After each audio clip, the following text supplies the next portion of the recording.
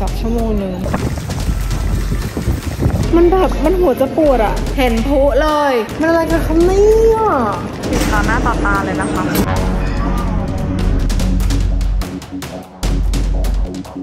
กลับมาที่ Contemporary Resort อีกครั้งหนึงนะคะ เป็นที่ที่เรามาตอนเรียนทีทัวร์ซึ่งสาเหตุที่เราเลือกที่นี่เป็นที่สุดท้ายแล้ว เพราะว่ามันเป็นโรงแรมแรกของ Disney World แล้วก็ทุกคนจะงงใช่ไหมว่าตีมไปดูแบบ future future เพราะว่าจริงๆ Disney World อะใน plan อะแทบจะไม่อยากมี Magic ไอปราสาทด้วยซ้ำมาเขาจะเอาปราสาทไปใน Epcot ด้วยกัน Epcot เป็นสิ่งแรกที่เขา plan ค่ะเขา plan ว่าที่นี่จะเป็นที่สำหรับโลกอนาคตเพราะฉะนั้นคือรีสอร์ทเนี้ยน่าจะตรงกับใจของคุณ Walt มากที่สุดก่อนที่จะเสียไปแล้วก็ก่อนที่จะแบบเดี๋ยวก็จะทยอยในการที่สานต่อให้กลายเป็นปั๊บขึ้นมาเราเช็คอินกันก่อน ก็เดี๋ยวรีวิวให้ดูเป็นยังไง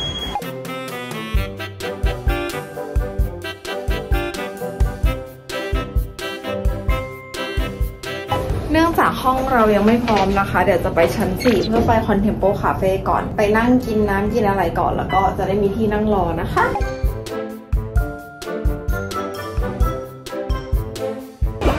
ตรงนี้มีร้าน Chef Mickey นะคะ ที่แบบต้องใช้ reservation นะแต่เราไม่ได้จองไว้ กับมิกกี้มินนี่ได้ร้าน Chef Mickey นะคะ เป็นร้านดังของเขานะ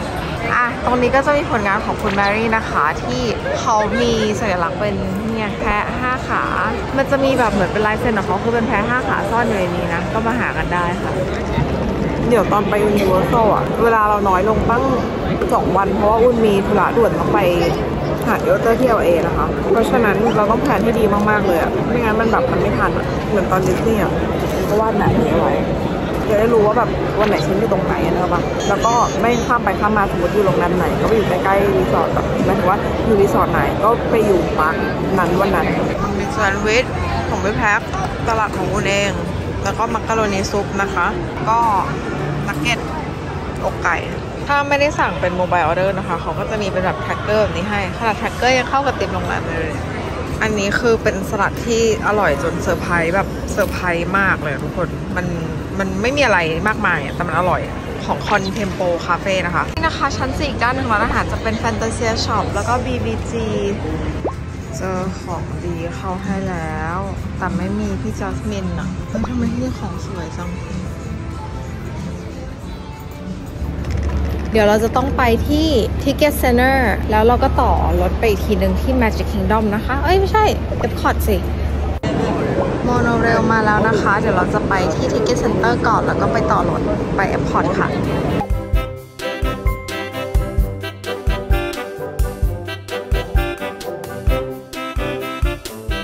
มองมาทางนี้ก็จะเห็นคนสวยและคนหล่อนะคะนี่นะคะลงสถานีแรกเลย แล้วก็เปลี่ยนรถ monorail ไป monorail ไป Epcot ค่ะไปด้วยกันเลยค่ะ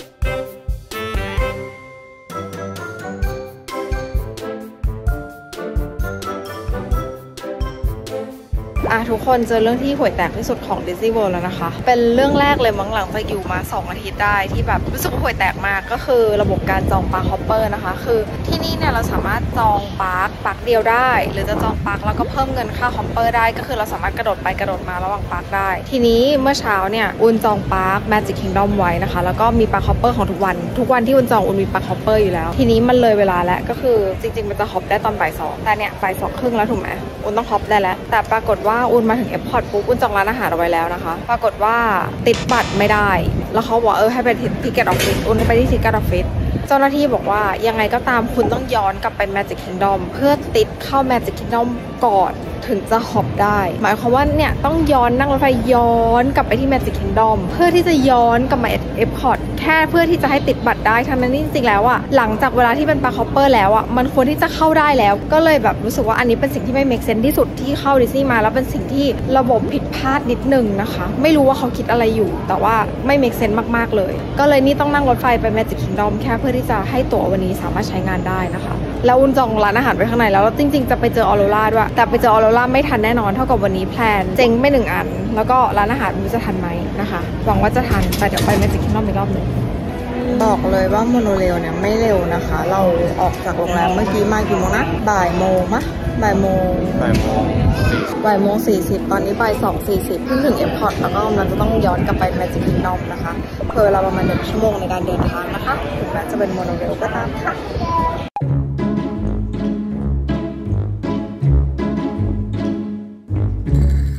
ชั่วโมงหนึ่งกับชั่วโมงหนึ่งแค่ไปติดอะชม MagicBand ดิแค่ไปติดอีนี้ให้เป็นสีเขียวนะย้ำอีกทีนะคะว่าวุ้นไปที่ Epcot ในเวลาที่มัน hop ได้แล้วหมายความว่าวุ้นอะควรจะอยู่ข้างในได้แล้ว ไม่ควรจะมีปัญหาอะไรเลย เพราะว่าจำนวนคนใน park เขานับการขาย hopper ไว้แล้วนะคะ เท่ากับนี่คือการต่อรถรอบที่หนึ่งสองสามของเรานะคะดู ถึง Magic Kingdom เปลี่ยนแล้วเด็กแล้วฝนตกแล้วนะคะ แค่ต้องเอาบัตรไปติด สู้เขาครับปะ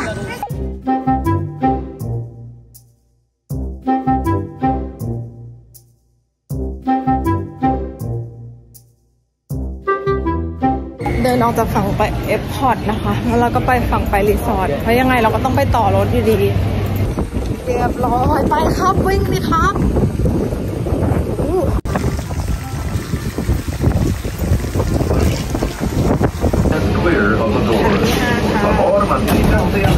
alejado de las puertas.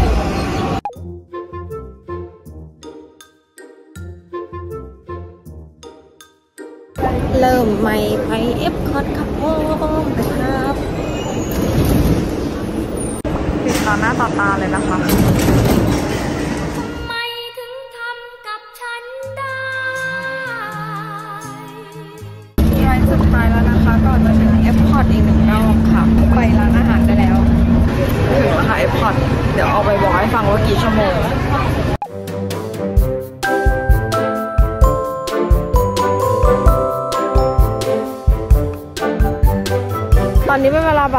55 นาทีนะคะ รวมทั้งหมดจากที่เราออกมาจากโรงแรม ซึ่ง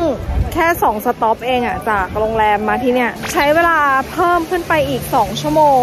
15 นาทีนะคะ คือเราก็ไม่แน่ใจว่าทำไมเขาถึงไม่ให้หอม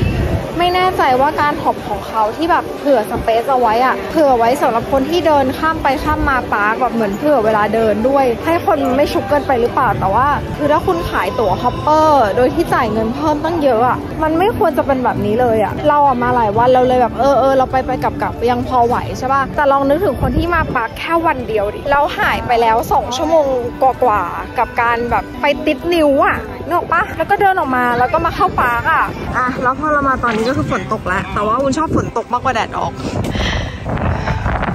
มันช้าจนที่ตอนแรกอะแผนแรกของเราเจ๊งไปแล้วใช่ปะที่แบบจะไปจองแล้วล่ะ ตอนในร้านอาหารที่ book ไว้อะก็กำลังจะเจ๊งอีกอันหนึ่งค่ะ ไม่รู้ว่าจะทันไหม ก็ตอนนี้กำลังเดินไปที่ร้านอาหารแล้วก็ลองดูว่ายังทันอยู่ไหมนะคะ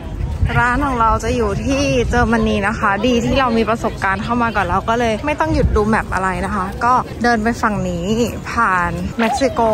ไชน่าแล้วก็อะไรสักอย่างอีกอันหนึ่งมั้ง แล้วก็น่าจะเป็นเยอรมันแล้วค่ะอะการเจอหน้ามินนี่ทำให้ทุกอย่างรู้สึกดีขึ้นมานิดนึงนะคะผมเลิศและนี่คือคิวของคนที่ต้องการทำให้มินนี่ทำให้ตัวเองรู้สึกดีขึ้นในวันนี้ค่ะ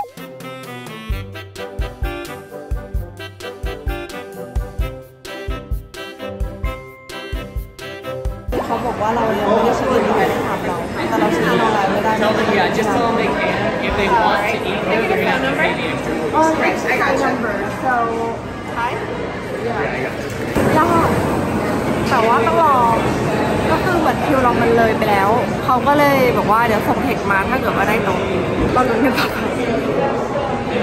It's pretty long in time.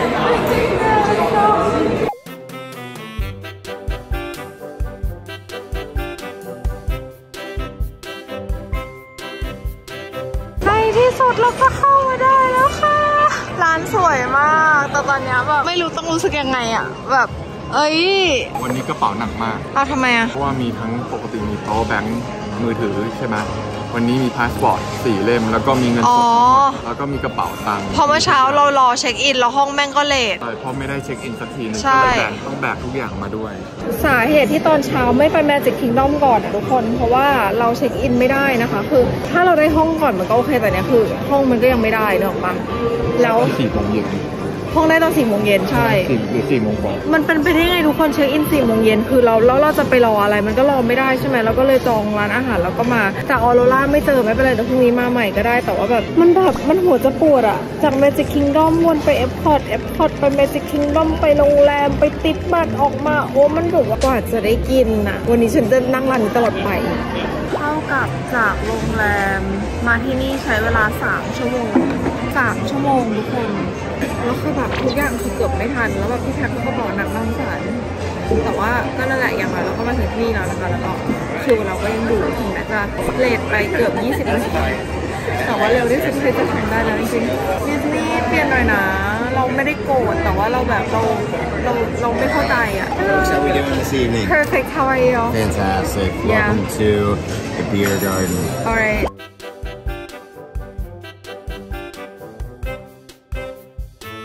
มีโชว์ด้วยสี่โมงครึ่งอันนี้เท่าไหร่สี่โมงสิบห้าหรือว่าเรามาเลทที่ทุกอย่างโลกให้เราเลทหรือว่ามันเพราะให้เราดูโชว์เหรอ เป็นคนคิดในแง่บวกที่สุดในโลกเลยเฮ้ยมันเป็นไม่ได้นะอะปีคือจริงแต่ยังไงเราก็จองอยู่แล้วสามโมงห้าสิบๆไม่แต่แบบว่ามันจะได้แบบดูโชว์ไงโอเคได้ครับพยายามคิดบวกเป็นสิ่งที่ดีนะ โลกจะได้ไปต่อได้ เพราะว่าถ้าเกิดว่าเรามาเร็วกว่านี้เราก็อาจจะไม่ได้โต๊ะนี้ที่อยู่ข้างๆก็ได้เราอาจจะได้โต๊ะตรงกลางเลยก็ได้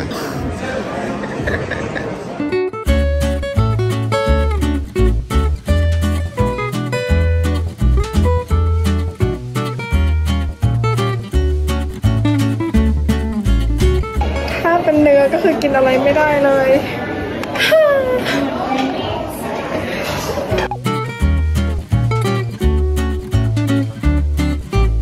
เหมือนโบโลน่าแผ่นใหญ่ๆเค็มปึ๊ดอร่อย อารมณ์ดีแล้วค่ะอ๋อน้องไก่อะผักกาดเป็นดเดือองนอะน่องไก่ที่นี่หายากนะทุกคนหมายถึงถ้าเราไม่ซื้อทั้งตัว มันก็จะได้แต่อกอืม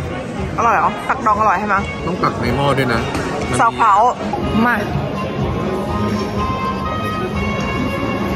อืมนุ่มมาก เปรี้ยวกำลังดีจริงๆคนก็ตักมาแหละ แต่เห็นเขาป้อนนะผู้ชายป้อนเราอะเนาะแต่กล่องหมูค่ะ เหมือนที่ไอหอกแต่เป็นไซส์ใหญ่ ใครที่เป็นสายดื่มนะคะ แน่นอนว่าร้านเยอรมันเนี่ยเมนูเบียร์จะต้องจึ้งๆ แต่ว่าใครไม่ดื่มก็กินโค้กกับเราได้ค่ะ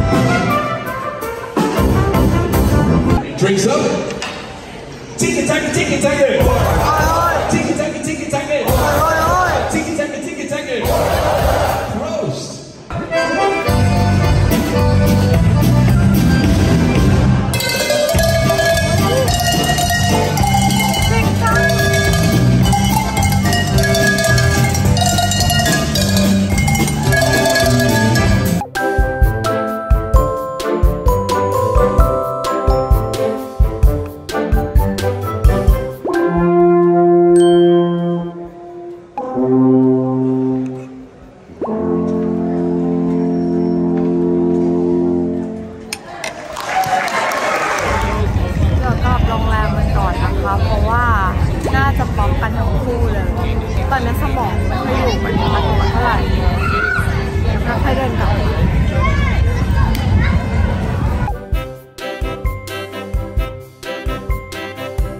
และนี่คือมโนเรลรอบที่เท่าไหร่ของวันนี้คะ เยอะมาก น่าจะประมาณ7หรือ8ตามบุญของเราเริ่มกลับมาแล้วนะคะ เราขึ้นทันคันที่กำลังเปิดอยู่พอดีนะคะ บอกเลยว่าเราสองคนกำลังจะมาแล้วนะคะ เพิ่งเดินขึ้นมาถึงข้างบน แล้วก็ต้องเดินลงไปใหม่เพราะว่าขึ้นผิดฝั่งเลยบอกเลยว่าเราสองคนกำลังจะมาแล้วนะคะ ไม่หวังอะไรแล้ววันเนี้ยใกล้จะ joy ไป เฮ้ยทุ่มครึ่งแล้วนะคะบอกเลยว่าวันนี้เราเรียกได้ว่าเป็นทัวร์ monorail เนาะ joy joy ๆบน monorail day เดี๋ยวจะไปเช็คอินที่โรงแรมกันค่ะ โอ้โห เหมือนเพิ่งไปทำสวนมาเหมือนกันนะอันนี้จะเป็นครึ่ง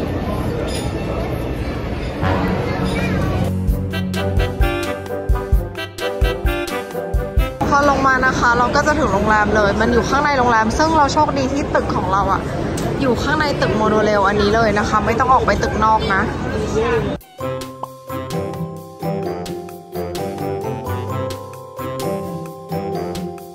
นี่นะคะออกมาจากบันไดเลื่อนมาตะแก๊ก็คือสามารถ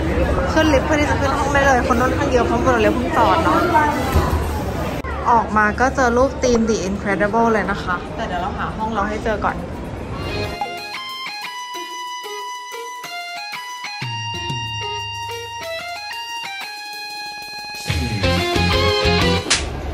เมื่อเช้าเขาบอกว่าได้เลย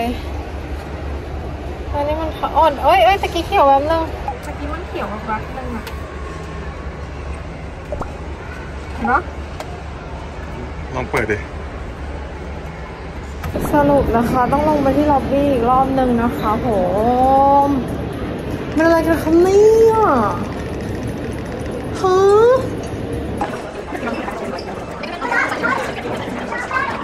ก็คือเขาบอกว่าตอนกลางวันอะมันอาจจะแบบไปคอนเนคกับอีกห้องหนึ่งแล้วก็เปลี่ยนห้อง แล้วก็ไม่ได้อัปเดตแบรนด์เริ่มใหม่อีกครั้งนะฮะกับเจอร์นี่สำหรับการเข้าห้องในวันนี้นะครับ ไปกันเลยมาดูว่าวันนี้เรา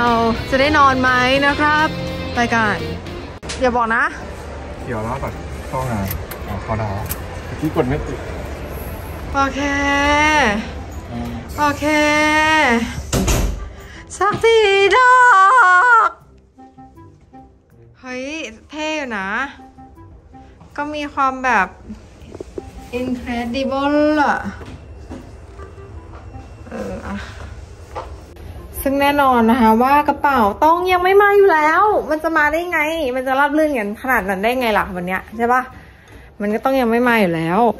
เพราะฉะนั้นเราก็โทรไปเลยสิครับรออะไร คืออ้วนอะคิดเวลาว่ามา 14 วันมันตายแน่วันสุดท้ายแล้วอ้วนคงไม่ไหวที่จะไปเขาดูไปดูผุในปากทุกวันอีกแล้วเนอะปะก็เลยจองห้องที่มองไปปุ๊บ เห็นผุเลย เห็นชัดๆเลยไม่ต้องไปปักแล้ว เพราะเหนื่อยนะคะนี่ก็คือห้องที่ตอบโจทย์นั้น มีเก้าอี้ นั่งดูผุให้ช่ำฉ่ำพระอาทิตย์ตกฉ่ำนะ ดูพุฉ่ำดูไปเลย นะคะ ในส่วนของห้องก็น่ารักกว้างขวางเออกว้างอยู่นะซึ่งบอกเลยว่าสวยแล้วก็กว้างแต่กระเป๋าไม่มา แต่อย่างน้อยเราก็มีปราสาทแล้วก็มีภูให้ดูโดยที่ไม่ต้องเข้าปาร์กนะพี่พระอาทิตย์กำลังจะตกนะฮะ สวยมาก นี่เราสามารถนั่งดูพลุได้เลย นี่เดี๋ยวตอนกลางคืนหนูไปนั่งดิถ้าเดี๋ยวมีถ่ายให้มันจะสวยมาก มานั่งดูด้วยกันพี่อยากนั่งอยู่กับ เออห้องนี้สวยสุดเลยอะ เป็นการปิดทริปที่เออ ถึงมันจะยากเย็นเอาคนน้ำออกไปเอาคนน้ำออกไป คนน้ำไม่สวยเลย คนน้ำออกไปหน่อยนี่นะคะเป็นยังไงมันสวยอะไรขนาดนี้ครับเนี่ยฮะ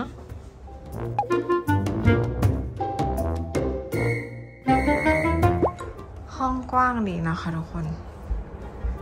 สัญลักษณ์อันนี้ก็เป็นปีเตอร์แพนเหมือนเดิมนะ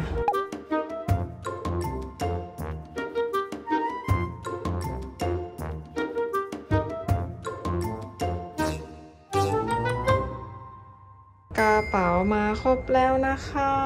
ก็ให้ทิปเขาไปนะคะ พวกนี้เวลาถ้าเกิดว่ามี bell service วุ้นก็จะให้ไปประมาณ 20-30 เหรียญนะคะ เพราะว่ากระเป๋าเยอะ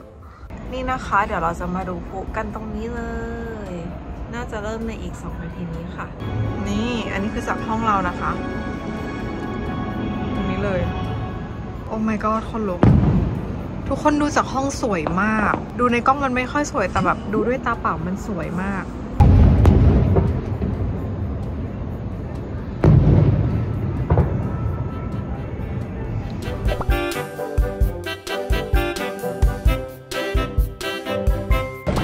ตื่นมาตอนเช้านะคะ สิ่งแรกที่เห็นก็คือคาเฟ่มิกกี้แล้วก็ร้านของเชฟมิกกี้ใช่ไหมแล้วตรงนี้ก็จะเป็นเสาตรงกลางเลยค่ะทุกคนของคุณ Mary Blair นะ น่ารักมากสำหรับโรงแรม Contemporary Resort นะคะ เป็นโรงแรมที่เดินทางสะดวก แต่ว่าไม่สะดวกเท่ากับ Grand Floridian แล้วก็ Polynesian ที่เราไปมา เพราะว่า stop มันจะอยู่ stop หลังสุดเสมอ แล้วก็ต้องมีทรานสิตแบบตลอดอะนะคะไม่ว่าจะไปไหนก็ตามแต่ว่าสิ่งที่ดีก็คือโรงแรมเนี้ยดูในรูปมันไม่สวยใช่ปะแต่พอมาอยู่อะเฮ้ยมันสวยเว้ยคือใช่ปะแบบเป็นโรงแรมที่แบบปีชอบที่สุดเลยปะใช่ชอบสุดเลย มีเหตุผลไหมมันดูอุ่นๆดีอ มันอบอุ่นใช่ปะมันเห็นกูด้วย อ่าใช่ คือตอนเราจองอะทุกคน มันสามารถเลือกห้องที่เป็น Firework View ได้ แต่ต้องจองห้องที่เป็น Firework View นะ ถ้าแบบจองห้องปกติมันจะไม่ได้นะคะ มันก็จะเป็นเลทที่แพงกว่า แต่ว่าบอกเลยว่าเป็น Firework View ที่คุ้มกว่าที่ปารีส ที่ปารีส Firework View คือเห็นแบบไกลมากแล้วเห็นแบบนิดเดียวอะ แต่อันเนี้ยคือเห็นชัดแบบตัวพลุอะ ตัวพลุใหญ่อะชัดกว่าใน park อีกนะคะ เพราะฉะนั้นก็ใครรู้สึกว่าอยากจะเผื่อวันพอดพักผ่อนเอาไว้ในโรงแรม ไม่ได้ไปเข้าไปดูพลุทุกวัน ถ้ามาอยู่สองคืนอะไรเงี้ย อันเนี้ยคุ้มแล้วก็ ดินใกล้ที่สุดเลยเดินใกล้ที่สุดใช่เวลาลงจากไอ้ monorail รถไฟอะอ๋อ ระยะทางระหว่างสถานีรถไฟกับห้อง ถ้าเป็นห้อง fireworks view นะ ใกล้มากใกล้แบบลงรถไฟปุ๊บขึ้นลิฟต์เลย แต่ถ้าเป็นรีสอร์ทอื่นอะคือแบบพอถึงล็อบบี้ใช่ไหมกว่าจะเดินถึงห้องอะบางทีแบบ500 เมตรอย่างเงี้ยเออ ก็ครึ่งโลแล้ว500 600 เมตรคือแบบก็ต้องเดินเดินนะแต่อันเนี้ยก็คือเหมือนเราอยู่โรงแรมทุกคนแล้วเหมือนเขามาจอดข้างในโรงแรมเลยนะคะ มันก็จะสะดวกแล้วก็ความอบอุ่นมันหมายความว่าความสะดวกของเราในการใช้ชีวิตอะเนาะก็คือถือว่าสะดวกมากแล้วก็ทุกอย่างมันเป็นเหมือนระบบโรงแรมคล้ายๆบ้านเรา มันจะไม่ได้เป็น feel แบบรีสอร์ททุกอย่างไกลๆกันอะไรเงี้ยเออก็จะสนุกแล้วก็สะดวกแล้วก็ที่สำคัญก็คือถ้าอยู่ห้อง fireworks อะมองลงมา ก็จะเห็นพี่มิกกี้เล่นกับเด็กในคาเฟ่มิกกี้ข้างหลังเนี่ยมัมมี่เดินผ่านทุกครั้งมัมมี่เห็นตัวละครออกมาทุกครั้งเลยอะไรเงี้ยกินข้าวก็มากินข้าวได้ เออ ใช่ใช่แล้วร้านอาหารเนี่ย Contempo Café นะคะ เปิดถึงห้าทุ่มเลย นึกออกปะก็สะดวกมาก แนะนำแนะนำมาก ๆ ดีกว่าที่คิดมากๆ เพราะว่าดูในรูปมันแห้งมากแต่พอมาอยู่จริงมันไม่แห้งเลยค่ะ นี่คือโรงแรมสุดท้ายที่เราจะอยู่กันแล้วในดิสนีย์เวิลด์สี่โรงแรมจุกๆนะแม่ เราอยู่ Port Orleans กัน 5 คืน อยู่ Polynesian 3 คืน อยู่ Art of Animation 2อยู่คอนเทม p o r a r y 2จุกในหัวใจนะคะ ก็หวังว่าทุกคนจะชอบกัน แล้วก็หวังว่าจะทำให้ง่ายขึ้นในการตัดสินใจเลือกโรงแรมนะ เดี๋ยวเราไล่สรุปทีละโรงแรมให้ฟังเลยดีกว่าว่าแต่ละโรงแรมเป็นยังไงบ้างอันแรก Port Orleans เป็นธีมเจ้าหญิง แต่ใหญ่เกินไปมากๆสำหรับนี่ใช่เพราะว่าสุด ฝั่งหนึ่งไปอีกสุดฝั่งหนึ่งอะก็คือโลครึ่ง ถ้าหลงก็คือต้อง Uber อะ แล้วอีกอย่างหนึ่งก็คือ transportation ที่สะดวกที่สุดก็คือมีแค่ bus ถ้าเรือเฟอร์รี่ก็ไปได้แค่ Disney Springs ซึ่ง Disney Springs เป็นแค่ shopping mall ไม่ต้องมีตั๋วเข้าได้มันไม่เกี่ยวกับ park เลยอะ ก็ให้คะแนนน้อยสุดในทริปนี้สำหรับมามีนะ ถึงแม้ห้องจะสวยมากนะสำหรับมามีให้เป็นที่เท่าไหร่ของมามีคือที่สี่แบบเป็นที่สี่ในที่สี่อะไอ้ที่สามเหรออะ ต่อไปนะคะ เออแต่ว่าห้องสวยแล้วก็บรรยากาศสระน้ำเยอะ แล้วก็ธีมห้องมีความคลาสสิกใช้คำนี้คลาสสิกแล้วก็ล็อบบี้สวยมาก Polynesian Polynesian อันนี้มามีให้ที่2ของทริปนี้ เพราะว่าเป็นรีสอร์ทสวยมากลาวช์ดีลาวช์มีขนมให้ตลอด มีน้ำให้ตลอด เดินทางสะดวกมาก ใกล้ park ที่สุด แล้วก็มีชายหาดเทียมเอาไว้ให้ดู ถึงแม้จะดูพลุไกลหน่อยแต่ว่าก็เห็นพอไปอะเป็นที่เท่าไหร่ ถ้าถ้าอยู่ยาวๆนะ ให้ที่หนึ่งแต่ถ้าอยู่ในทริปเนี้ยถ้าอยู่ทีมนี้ให้ที่สองเหนื่อยเออ มันมันเดินมันเดินทางด้วยเรือได้ มันเดินทางด้วยรถไฟได้ แต่ทุกอย่างแม่งไกลหมดคือแบบจอดเรือปุ๊บเดินไกลมากกว่าจะถึงห้องจอดรถไฟปุ๊บเดินไกลมากกว่าจะถึงห้องเนาะแต่ว่าก็ก็มีร้านอาหารแบบนี้ให้เหมือนกัน แต่ว่าไม่อร่อยเท่ากับที่คอนเทม p o r a r y เนาะเออแล้วก็ร้านอาหารก็จองยากนิดนึงก็จะคำว่าเหนื่อยของพี่พักหมายถึงร้านอาหารจองยากทุกอย่างไกลกันอะไรเงี้ยแต่สวย ต่อไป Art of Animation ที่เป็น Ariel เป็นไงให้ที่สี่ทำไมอะระหว่างทางเดินไปตึกอะโอ้มันใช่ร้อนมันไกลมันแบบแดดแต่ว่าห้องสวยล็อบบี้สวยมากล็อบบี้คือเข้าไปแล้วแบบเหมือนอยู่ในโลกการ์ตูนเอเลยอใช่ใช่สำหรับอูนให้ที่สามอูนยังชอบกว่าอันแรกเพราะอูนรู้สึกว่าอูนประทับใจในความดิสนีย์แบบกระแทกหน้าแล้วคือราคามันดีด้วย